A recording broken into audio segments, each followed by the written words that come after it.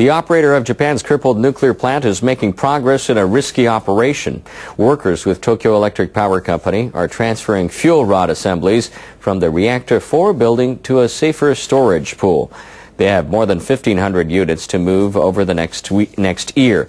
But what happens when the nuclear waste after that is unknown? NHK World's Noriko Okada reports. Workers at Fukushima Daiichi celebrated a small victory. They finished transferring 22 unused fuel assemblies from the reactor building into a storage pool nearby. Later, they will start removing spent fuel rods from the building. They are far more radioactive than unused ones. But TEPCO and other utilities will face a challenge down the road where to store nuclear waste long term. Originally, the industry and government planned to recycle it. But technical problems have brought the project to a standstill. The recycling plant has never gone into operation. What's more, there is no final disposal site yet in Japan government officials are considering burying nuclear waste more than 300 meters underground. In 2000, they asked municipalities around the country to host the site. None has volunteered. Nuclear-powered nations around the world are dealing with the same problem. Only Finland and Sweden have chosen final storage site for their nuclear waste. The president of the company managing Sweden's site has visited Japan to give advice to government officials. Magnus Holmqvist says he chose the best suited place based on geological surveys. Then he found a site by negotiating with cities in the area that host nuclear-related facilities. Learning from us and others, uh, picking the raisins, picking the good pieces. But the process has to be developed within Japan, uh, a process that suits your conditions, not ours. The crisis at Fukushima Daiichi has made Japanese even more wary of nuclear waste. Municipal authorities aren't keen on burying it beneath their communities. But there are more than 25,000 spent fuel rods in the country. Experts agree storing it at nuclear plants is unsustainable. And at some point, government and industry must find a long-term storage site. Noriko Okada, NHK World, Tokyo. The utility in charge of Japan's damaged Fukushima Daiichi nuclear plant is now considering decommissioning every reactor at the facility. The 2011 earthquake and tsunami crippled four reactors at the plant. Two other units were left largely undamaged, but they likely won't go back online. Tokyo Electric Power Company executives hadn't officially ruled out using reactors 5 and 6 to generate electricity in the future. Now they say they'll decide what to do with the units after they speak with authorities in Fukushima Prefecture and in the towns that host the plant. Their official decision could come next month. Prime Minister Shinzo Abe has urged them to scrap the reactors. He says they should concentrate on dealing with the series of problems, including leaks of radioactive water. TEPCO officials plan to use the two reactors to train workers involved in decommissioning the four damaged units. The utility is already organizing funding for decommissioning reactors 5 and 6. But it is expected to fall short by more than $250 million if the decision to decommission the reactors is made during the current fiscal year through next March. TEPCO is allowed to raise power rates to make up the difference.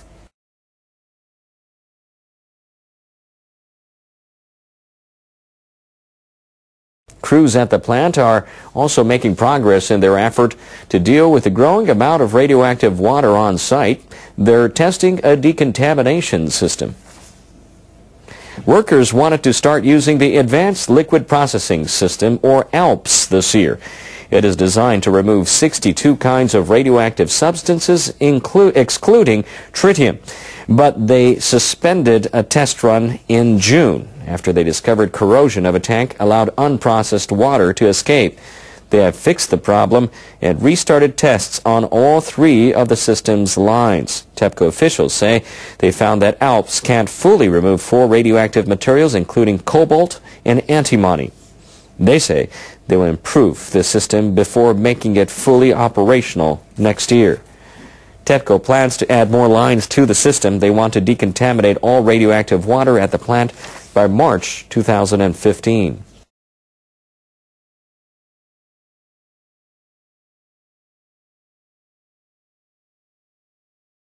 Now, NHK has learned that Tokyo Electric Power Company aims to restart some of the reactors at its nuclear plant in central Japan next July. TEPCO representatives say restarting the Kashiwazaki Kariwa plant in Niigata Prefecture will help revive their business after the nuclear accident at Fukushima Daiichi. The number 6 and 7 reactors will undergo safety checks by the government's Nuclear Regulation Authority. This is part of the procedures for restarting nuclear plants. TEPCO has set the target date for next July. The checks will take at least six months.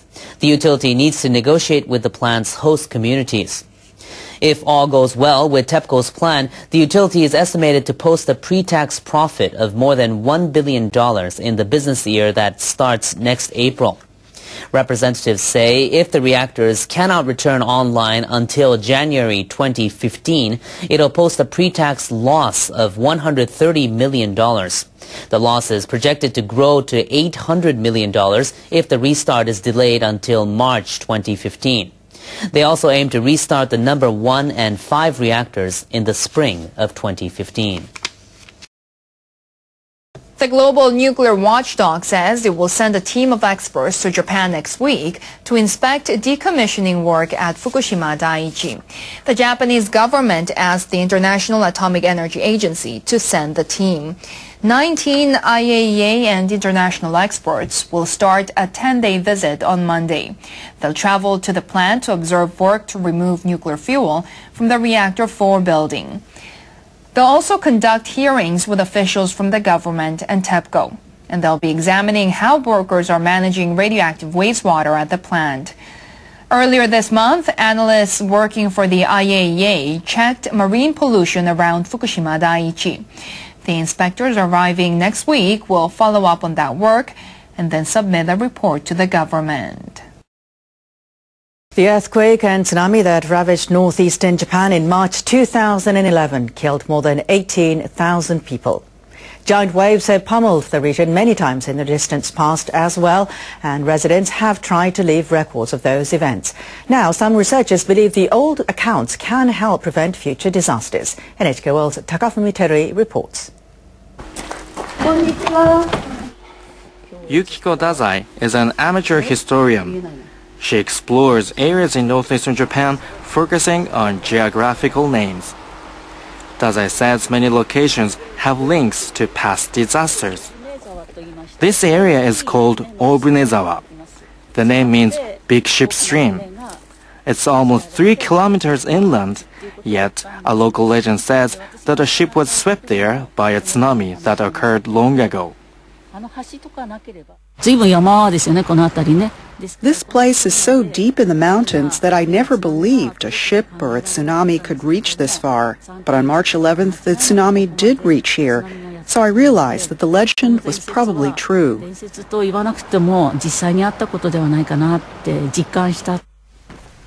Dazai says place names may hold messages from people living in the area centuries ago. She asks locals about these tales.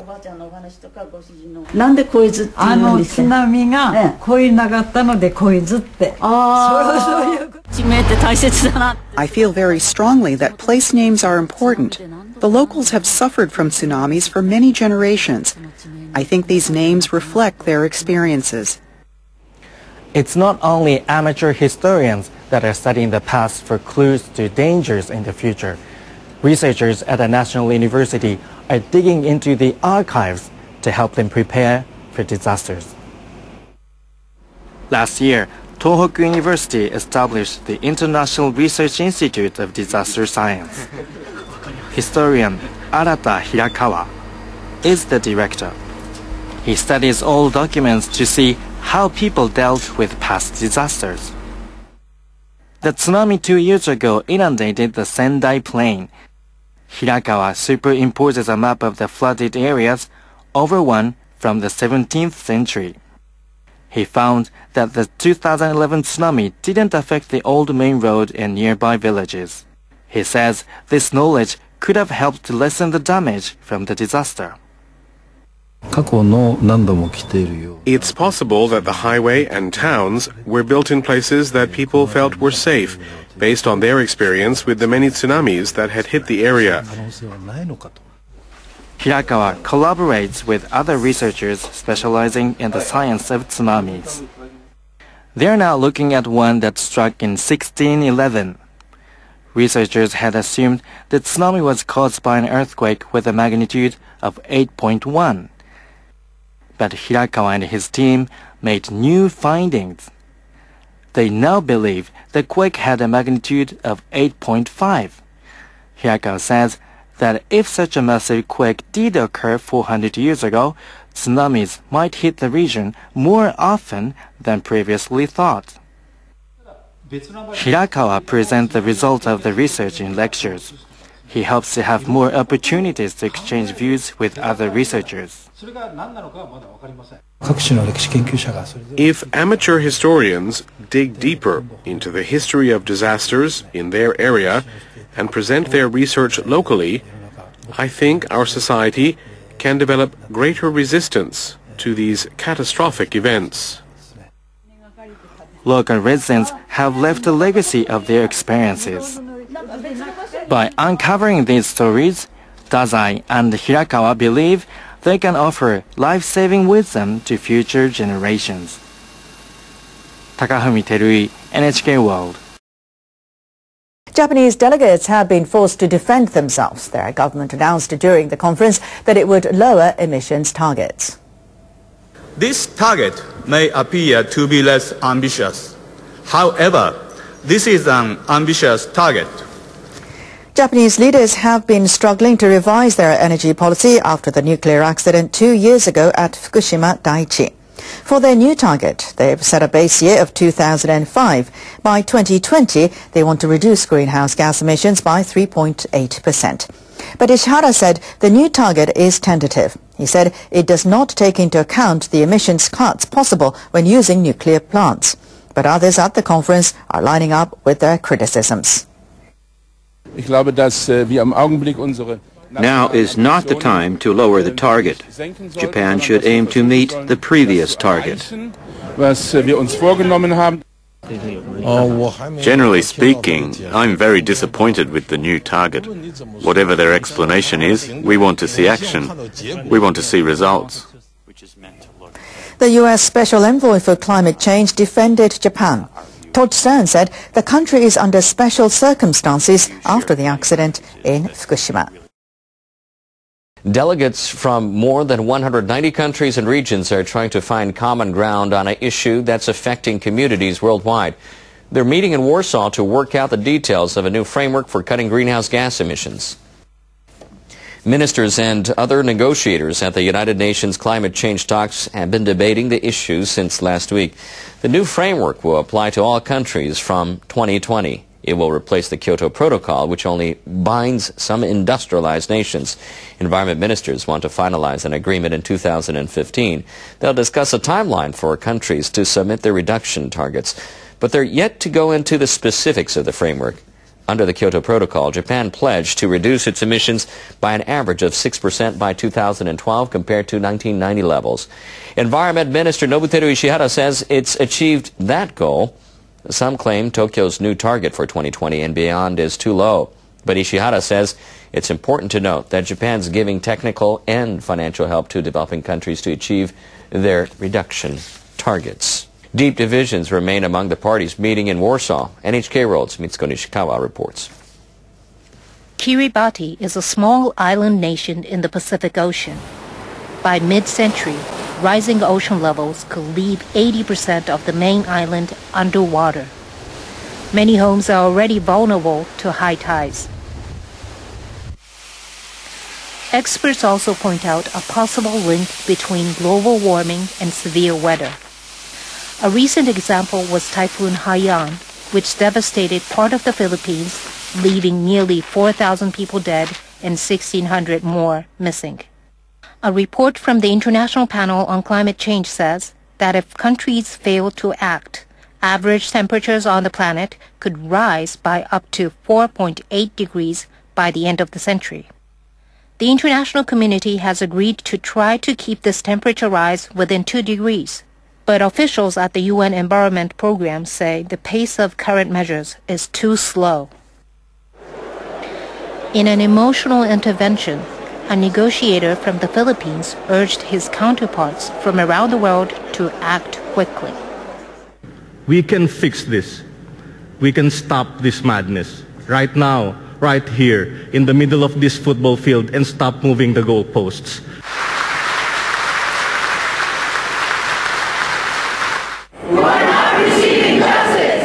The delegate went as far as starting a hunger strike to underline his commitment. Other participants to the conference have decided to join him. Until the end of COP and beyond. The purpose of this year's conference is to lay the groundwork for a new climate agreement that regulates greenhouse gas emissions beyond 2020. UN officials hope the agreement can be signed in 2015. But so far, negotiators have failed to achieve real progress. The European Union and the United States disagree over when countries should submit their commitments to limit greenhouse gas emissions and developing countries insist that mandatory measures should apply only to industrialized nations whom they consider historically responsible for global warming. Developing countries are also demanding that a new fund be set up to help them deal with the adverse consequences of climate change. But many industrialized nations are reluctant to contribute additional funds. Some experts are pessimistic about the prospect of an agreement before the end of the conference. Ministers from the developed countries will be forced to propose something concrete regarding climate finance or climate compensation to the damage caused by the climate change. Otherwise, developing countries will condemn the developed countries more strongly. It may take time to get any consensus, concrete position or answer on this issue for each country we have only four days to go, and I'm not sure we have enough time. Japan announced last week that it will be scaling down its self-imposed greenhouse gas reduction targets. The decision drew considerable international criticism, and it may serve as a pretext for other countries not to commit to ambitious targets. Mitsuko Nishikawa, NHK World. A volcanic eruption in the Pacific Ocean a thousand kilometers south of Tokyo is creating a new islet in the Ogasawara island chain. Japan's government is hoping this will lead to an expansion of the country's territorial waters. Officials at the Japan Meteorological Agency say the new landmass emerged about 500 meters southeast of Nishinoshima Island in the Ogasawara group. An NHK camera crew took footage of the new islet forming on Thursday. Eruptions occurred every 30 to 60 seconds with plumes of black smoke and ash flying into the air. The Japan Coast Guard says the islet expanded by 100 meters in length between Wednesday and Thursday. Officials say it's now 400 meters long north-south. I hope our waters will expand. That is, if the land becomes an official island. If the United Nations Convention on the Law of the Sea recognizes the landmass as an island, Japan's territorial waters would expand by about 500 meters south of it. But Coast Guard officials say the new landmass might be eroded by waves. Fishery officials from around the world are divided on how to evaluate stocks of Atlantic bluefin tuna. They need to reach an agreement to determine future fishing quotas. The differences in opinion surfaced on Tuesday at the annual meeting of the International Commission for the Conservation of Atlantic Tunas. Delegates from countries that harvest the fish, such as Spain, Malta, and Morocco, argued that stocks have recovered. But those from the United States and other countries are cautious about raising quotas. They say recovery is still uncertain. People in Japan consume the most bluefin tuna. Japanese delegates are expected to emphasize their active approach to conserve the species. They're hoping this will allow them to harvest more bluefin next year. Japanese rice farmers renewed calls demanding the government take more time to review a subsidy program for them. The policy was implemented 40 years ago to stop rice prices from falling. About 700 rice producers and agricultural cooperative officials gathered in Tokyo. Lawmakers from the governing coalition also attended the meeting. This is a major turnaround of rice policy. The government should deal with it thoroughly and cautiously in order to prevent confusion among producers. The government aims to make the agricultural sector more competitive by ending the subsidy program by fiscal 2018. It also plans to sharply slash subsidies for farmers who take part in acreage reduction starting next year.